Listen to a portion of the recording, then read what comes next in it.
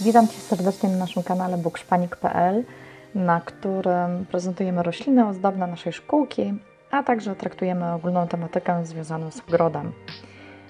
Tematem dzisiejszego odcinka jest 6 powodów, dla których warto mieć własne kury w ogrodzie. Dlaczego taki temat? Mm, kilka dni temu spontanicznie pojawił się na naszych fanpage'ach facebookowym i instagramowym post e, dotyczący zwierząt domowych którym to zamieściliśmy oczywiście nasze kury.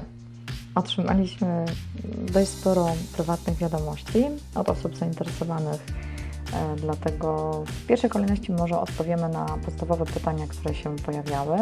Między innymi pytanie numer jeden, czy konieczny jest kogut? Otóż odpowiem krótko, nie, nie jest on w niczym potrzebny. Osobiście mieliśmy kilkakrotnie e, koguty, ale po pewnym czasie zrezygnowaliśmy z nich. Dlaczego? Dlatego, że z biegiem czasu mm, kogut staje się pewny siebie i może również on zaatakować również właścicieli.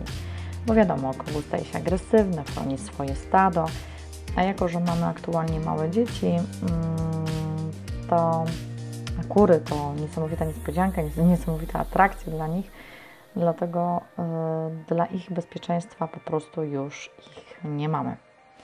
Y, kolejne pytanie to, jakie odmiany polecamy? Y, może zacznę od tego, że nie jesteśmy ekspertami, po prostu hodujemy kury od około 60 lat, z pokolenia na pokolenie. Oczywiście wymieniając je co 3-4 lata, tak? Um, więc bazujemy tylko i wyłącznie na naszym doświadczeniu. I tak, aktualnie posiadamy kury białe, czyli leghorny, e, a także odmianę Rosa, czyli jest to mieszanie z rodów e, Rhode Island Red i Sussex. Mm, kolejne pytanie, które Was e, nurtuje, to ile jajek znosi kura? Otóż dobra kura znosi 6 jaj tygodniowo, zimą trochę mniej Stosując odpowiednią dietę, oczywiście można regulować liczbę składanych e, jaj, nawet podczas e, najciemniejszych, tych zimowych miesięcy. Bo pamiętajmy, że kury lubią słońce, lubią piasek, lubią się wygrzewać, także mm, zimą jest ich troszeczkę mniej. Pytaliście nas też o to, czym karmimy kury. Mm, ogólnie przężyto, granula dla kurniosek, Wiadomo, drzownice, robaczki, często im gdzieś tam podrzucamy. No i przede wszystkim trawę skoszoną. E, I musimy pamiętać o dużej ilości wody, bo kury piją bardzo dużo wody. E, jeżeli chodzi o sześć powodów, e, dla których warto mieć kury, więc powód numer jeden przede wszystkim to niepowtarzalna jakość.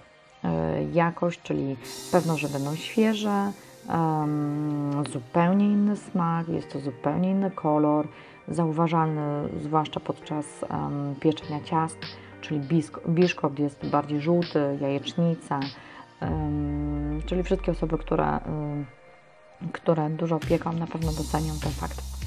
E, drugi powód to nawóz. Jest to znakomity nawóz pod roślinem. Musimy jednak e, tylko pamiętać, że odchody kurcząt są bogate w azot, dlatego w pierwszej kolejności lądują na pobliskim prostowniku, tak, gdzie pokrywane są kolejną warstwą ziemi, a następnie po pewnym czasie stają się doskonałym materiałem pod warzywniak, pod rośliny. Trzeci um, powód to na pewno w pewnym sensie poczucie mini autonomii i które mogliśmy odczuć, zwłaszcza w obecnych czasach COVID-u. Doceniliśmy bardzo, jak pewnie większość z Was, że warto jednak być rolnikiem i mieć swój warzywnik, bogaty asortyment, czyli od buraka, topinamburu, po marchew, por, pomidory, zioła czy, czy własne owoce borówki amerykańskie, maliny, poziomki, truskawki. No mogłabym tutaj jeszcze długo wymieniać, ale nie o to chodzi. Także więc taka sama wystarczalność na pewno daje poczucie bezpieczeństwa. Kolejny, um, kolejny powód to ewentualna nadwyżka, jeżeli macie takową. Um, na pewno znajdziecie jakiegoś kupca, e, czy znajdziesz osobę chętną na, na te jajka, więc też tutaj jest możliwa sprzedaż w pewnym sensie. Kolejny powód, jeżeli często mm, zostają Ci resztki z obiadu, tak, to na pewno może już kolejny y, powód na to, dlaczego warto mieć kury, ponieważ y, większość, często, często, że tak powiem, resztki lądują w menu kurcząt.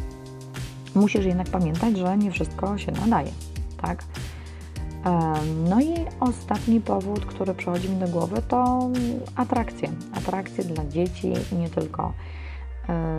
Jest to w pewien sposób rozrywka dla nich, a poza tym zawsze można się pochwalić, że mamy kury, tak? Każdy się chwali, że ma kota, że ma psa, świnkę, królika, no, a my mamy kury, także warto. Czy opłaca się hodować yy, kurę? Pewnie. Masz świeże, zdrowe jajka. I myślę, że to powinno wystarczyć każdemu taki argument. To tyle w dzisiejszym odcinku. Jeżeli chcesz coś skomentować, czy coś doradzić, masz jakieś uwagi yy, lub pytanie, pisz śmiało. A jeżeli uważasz, że warto subskrybować nasz kanał, nie czekaj z tym do jutra, yy, zrób to już dziś ja dziękuję Ci za poświęcony Twój czas. Mam nadzieję, że filmik był dla Ciebie wartościowy. Do zobaczenia wkrótce. Tymczasem zapraszam Cię na nasze fanpage, e, zarówno facebookowy, instagramowy, gdzie komunikujemy się z naszymi odbiorcami mm, minimum raz dziennie. Także raz jeszcze pozdrawiam. Cześć.